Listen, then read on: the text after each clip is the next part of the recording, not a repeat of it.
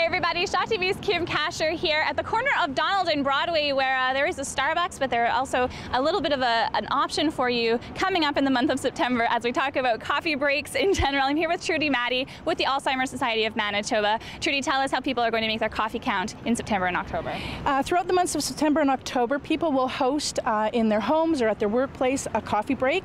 And in exchange for a cup of coffee, we're hoping that uh, their friends and family and neighbors will make a donation to the Alzheimer's Society a simple way to raise a little bit of money for the Alzheimer's Society. Uh, why is it important? Why is the awareness and uh, and uh, I mean fundraising important?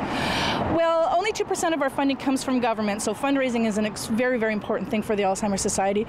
But besides that, the awareness is, is so important because the stigma that's attached to Alzheimer's disease and dementia is is huge and we really are trying everything we can to reduce that stigma so that people aren't afraid to talk about it and so that people aren't afraid to help out and help a person and to recognize um, how people react to different things if they have Alzheimer's disease because it can be a little bit scary there's some interesting kind of reactions and uh, yeah it, it's just something that uh, we're trying to do. Awesome. Now, when it comes to that coffee break, uh, you're going to give an example of it coming up in later on in September. So if people aren't quite sure how it can go about, it could be pretty simple, it could be more elaborate, but what are you folks doing?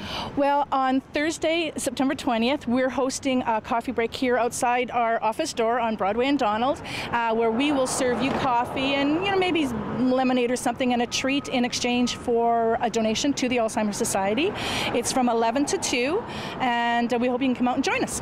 And if people want to host their own coffee breaks, uh, can you help them out with that? Absolutely. We have a kit that's available that has your first pot of coffee, tips on how to host a coffee break, um, posters, coffee cup cutouts, buttons and stuff. And it's really as simple as you want it to be or as elaborate as you want it to be. Love the construction here.